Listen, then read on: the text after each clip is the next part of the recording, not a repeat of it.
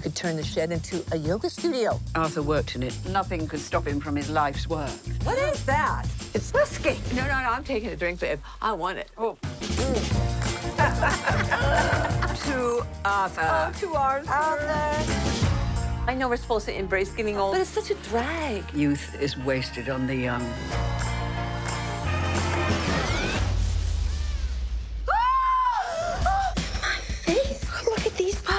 What are we gonna do?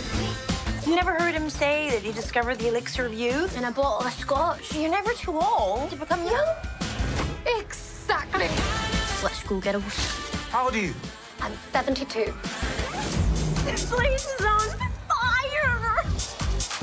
Shit. Oh. Good morning. Who are you? Huh? Are you his mom? So it lasts six hours. We need to blend in. We are going To Las Vegas. Oh! Oh, no holds barred.